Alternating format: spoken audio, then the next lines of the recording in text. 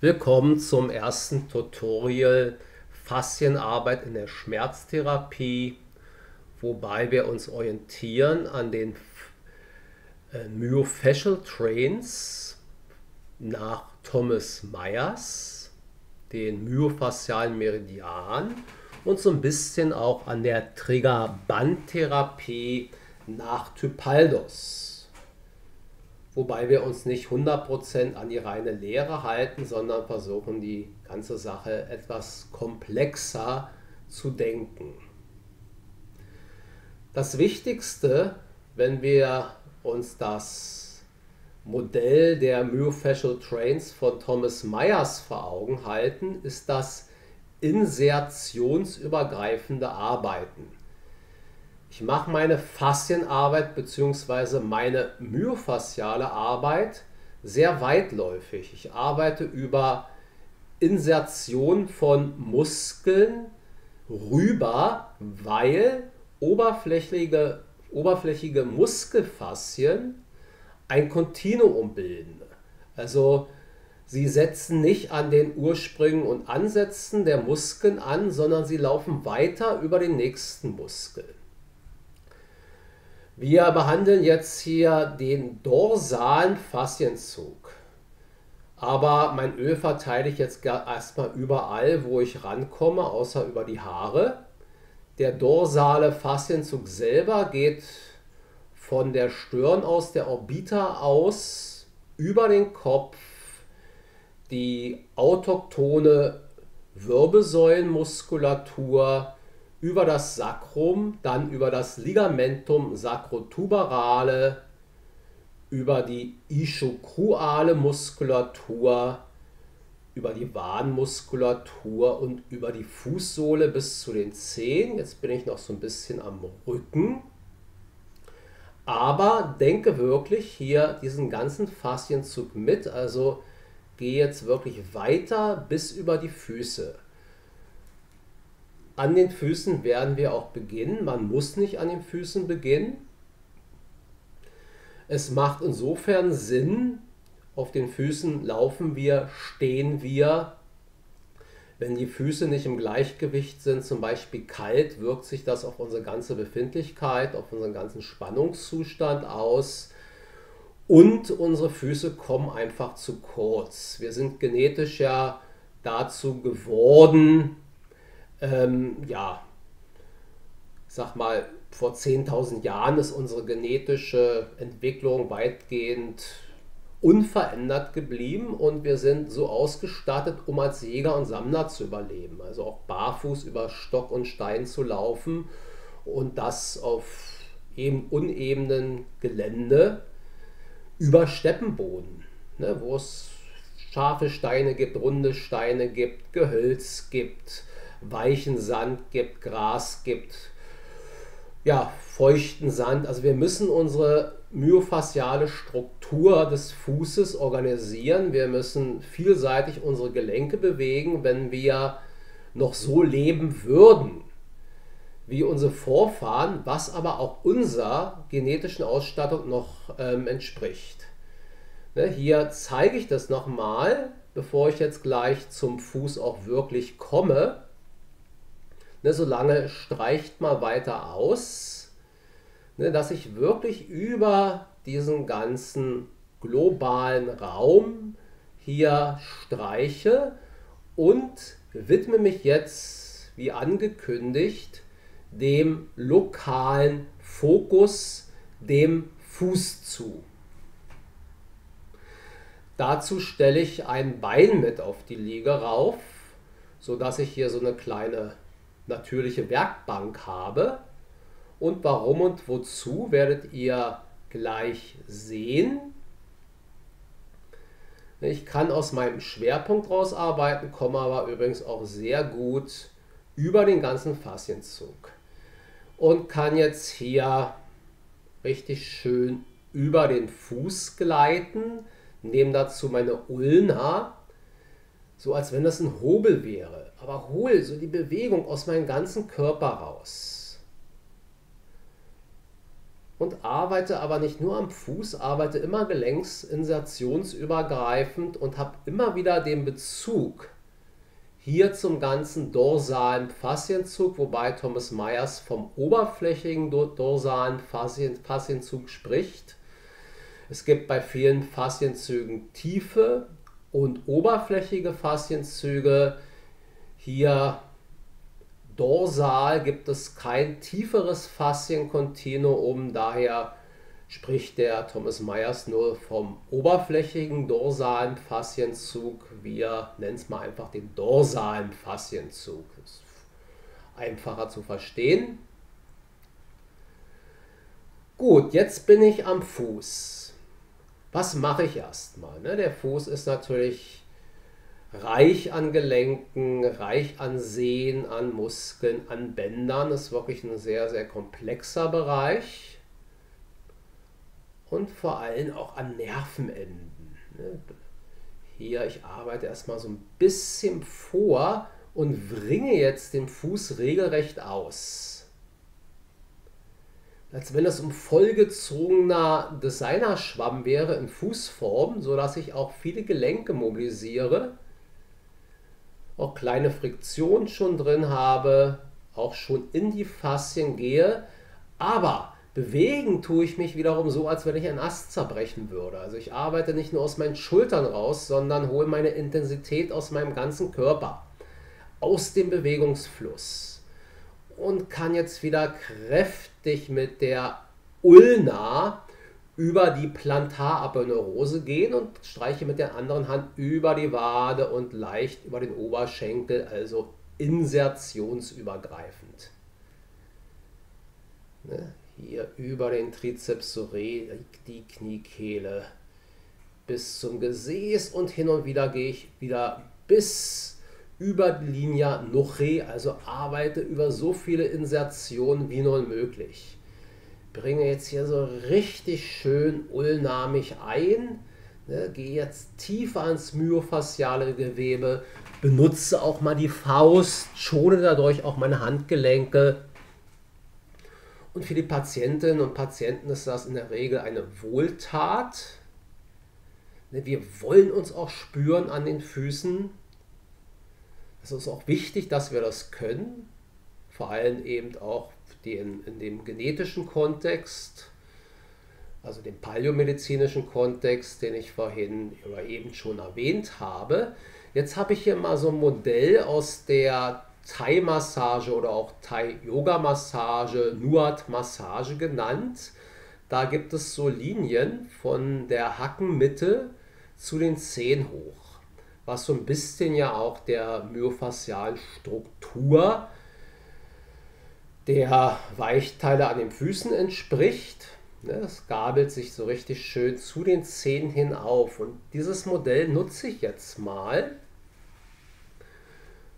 Ändere so leicht meine Position und arbeite jetzt aus meiner Sagittalebene, aus meiner Centerline heraus.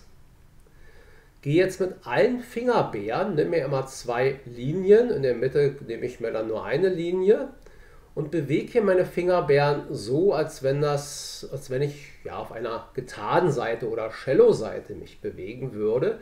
Palpiere den Fuß, habe natürlich da auch erweiterte Befundungsindizien und habe hier so einen gewissen Rhythmus. Ich zeige das erstmal jetzt nur so ganz, noch nicht ganz ausgeführt, weil nämlich meine Fingerbeeren, also meine Daumenbeeren, sorry, meine Fingerbeeren sind plantar und dorsal arbeite ich hier zwischen den Zehen und vor allen Dingen zwischen den Sehnen der Zehenstrecker entlang. In der gleichen Zeit tanzen meine Fingerbären hier auf der Plantaraponeurose, dringen hier in potenzielle Reflexpunkte, Tender Points, Triggerpunkte ein, detonisieren und befunden zugleich. Habe immer auch so ein bisschen kleine Mobilisationselemente mit drin.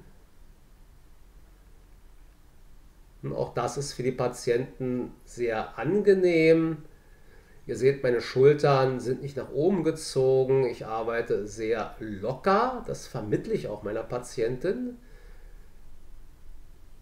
Und jetzt können, kann ich richtig Linie für Linie hoch und runter gehen und hier diese Vorarbeit leisten.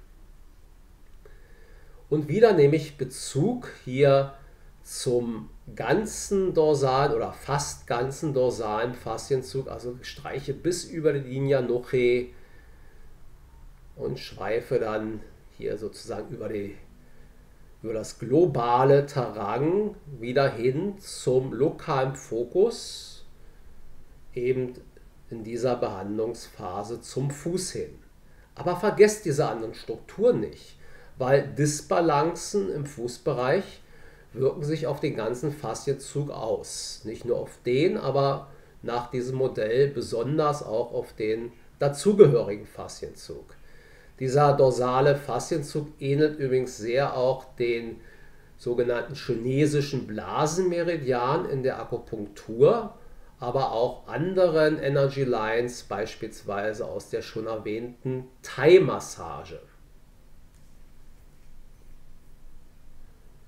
Und jetzt mache ich mal folgendes, ich schmelze regelrecht in diese Linien ein, was so ein bisschen an die Triggerbandarbeit nach Typaldos erinnert. Triggerbänder sind sogenannte Stressmuster, Schmerzmuster, welche nach Typaldos auch über die Körpersprache des Patienten gezeigt werden. Ah, da tut es mir weh. Dort sind Faszien distorsiert, aufgespalten, verdreht eben und oft sind auch Kalkeinlagerungen drin. Es kommt zu Schmerzen in diesem Bereich, in den Faszien, natürlich auch in den Muskeln. Auch die Faszien sind reich an Nervenkreuzungen, an Schmerz-, Bewegungs-, Dehnungsrezeptoren. Und da versuche ich jetzt über diese Triggerbandarbeit, indem hier meine Fingerbeeren so richtig tief einschmelzen, hier diese Faszien wieder auszugleichen auch das Verhältnis zwischen Kollagen und Elastin wieder in Balance zu bekommen. Arbeite wirklich mit mehreren Fingerbeeren. Ne, dadurch sind meine Finger, also meine ganze Hand ist stabil und ich schaffe einfach in der gleichen Behandlungszeit mehr, als wenn ich da nur mit den Einfinger-Suchsystemen arbeiten würde. Klar, so der Kraftfokus ist beim Mittelfinger, eventuell auch noch beim Ring und Zeigefinger, aber ich arbeite linear, aber auch leicht flächig dadurch, was auch nicht so unangenehm dann ist, wenn die Patienten schmerzempfindlich sind. Ich kann diese Triggerbandarbeit auch machen und gleichzeitig hier mobilisieren und dadurch die myofasziale, myofasziale Struktur in Annäherung und leichte Dehnung bringen kann das ja auch wirklich Linie für Linie tun. Es schmelzt so richtig schön ein und kann meiner Patientin oder meinem Patienten auch ähm, ja, dadurch bewusst machen, wozu, also was passiert muskulär, wenn die Zehen sich bewegen, ne, dass wir hier wirklich die Beugung, aber auch ähm, die Abduktion und Adduktion ähm, beeinflussen können. Sie kriegen auch eine bewusste Körperwahrnehmung, also werden auch nicht entmündigt. Ich kann das meinem Patienten auch erklären, warum ich das mache. Und das Interessante ist, ich kann natürlich das gleiche auch mit aktiver Bewegung tun. Ich gehe diese Linien hoch und runter und sage meiner Patientin, sie soll ihre Zehen selbst bewegen also selber an die Flexion und Extension bringen und wenn sie es können, auch versuchen in die Abduktion und Adduktion, also abspreizen und wieder ranziehen. Das können die meisten Menschen nicht, weil wir das auch nicht mehr können müssen. Wir haben das verlernt. Wir laufen in Schuhen auf geraden Böden, aber wenn wir uns wirklich in der Natur wie unsere Vorfahren bewegen müssten, dann müssten wir tagtäglich die Strukturen unseres Bewegungsapparates, vor allem hier an den Füßen, ganz, ganz anders organisieren und würden sie ganz anders trainieren, dann würden wir das wahrscheinlich auch können. Also viele, die das üben, die können das auch. Ne? Und das ist auch natürlich ein wichtiger Beitrag für die Patientinnen und Patienten zur Körperwahrnehmung. Ich versuche immer gewisse Zusammenhänge einfach auch meinen Patientinnen und Patienten zu erklären. Und gehe jetzt immer wieder über den globalen Raum, über den ganzen dorsalen Faszienzug oder fast ganzen bis über die Linie Noche, gleite wieder zurück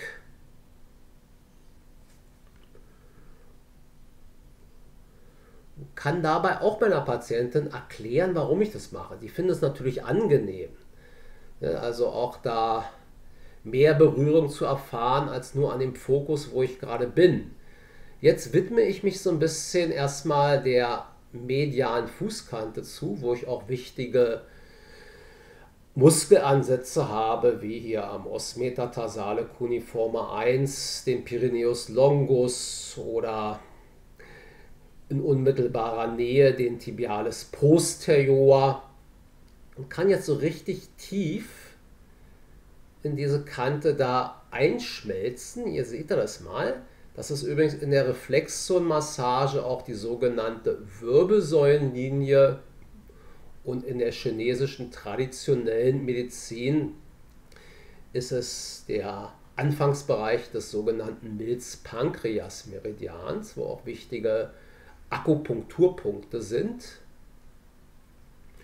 Und kann so richtig tief so auf diese innere Kante gehen, schmelzt so richtig tief mit meinem Fingerbeeren ein. Wenn ich hier Verhärtung fühle, Schmerzmuster fühle, kreise ich meine Fingerbeeren nach links, nach rechts im Wechsel zwei, drei Mal. Kann auch so kleine Figürchen, Pentagramme, Davidsterne, Fadenkreuze malen üben wir gleich mal an uns selbst, wie sich das anfühlt, dass wir da auch eine gewisse Vibrationsvielfalt haben. Jetzt arbeite ich hier an der äußeren Kante, habe hier meinen kleinen Finger unter seinen kleinen Zeh gehakt und jetzt habe ich mit beiden Daumen hier so einen richtig schönen Hebel. Da tangiere ich übrigens dann Ansätze des Pyrenäus brevis und tertius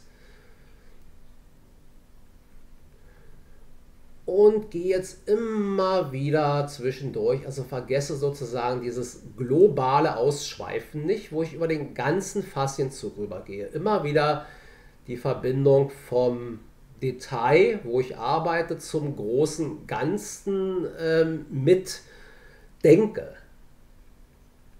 Und zum Schluss kann ich jetzt nochmal so eine kleine Klopfung durchführen, die ähm, sehr, sehr angenehm sind. Unser Fuß möchte auch in der Regel etwas spüren. Wir desensibilisieren natürlich hier unsere Wahrnehmung auch. Also vielleicht wäre das am Anfang den einen oder anderen viel zu kitzlig. Aber das wird als sehr, sehr angenehm empfunden, wenn wir wirklich so merken, ah, da ist Durchblutung, da ist Lebendigkeit, die Füße werden warm. Das wirkt sich wirklich auf unser ganzes Wohlbefinden aus. Das wirkt sich vegetativ aus und natürlich auch schmerzlindernd. Vielen Dank.